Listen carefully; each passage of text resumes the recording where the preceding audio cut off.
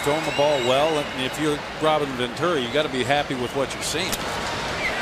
Pitch down and away, down the right field line. That's a fair ball. Dominguez, they're going to send him on around. Trembley, the third base coach, wheeling him. Another run for the Astros. They lead it 4 to 1. Brandon Barnes, his 16th RBI with the double to right. And you know, we look at this. Rios gets to this ball, plays it off the wall. Had he hit the, the cutoff man here, they got a chance at the play at the plate. As we watch the ball go down the right field line, kicked underneath the lip, came back out. Rios throws the ball, but it kind of sails on him. And, and you see how far away Dominguez was from home there, so they'd have had a play there.